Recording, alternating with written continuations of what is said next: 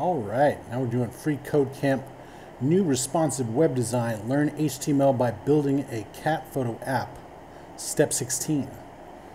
Before adding any new content, we should make use of a section element to separate the cat photos content from the future content, all right?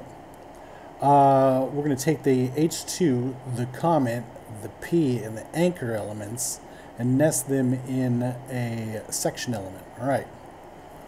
So basically, we're going to come over here and we're going to say, uh, we're going to do this. We're going to say section. And on the other one, we're going to do, no, not like that. Like this section. All right.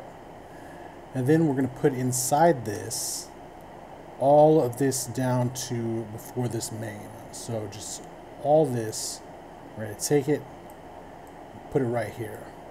All right. And get rid of this format it up and then make all this, you put a tab there. I mean, you can do whatever you want, but that's what I want to do. Uh, and there we go. That uh, should do it. Let's see.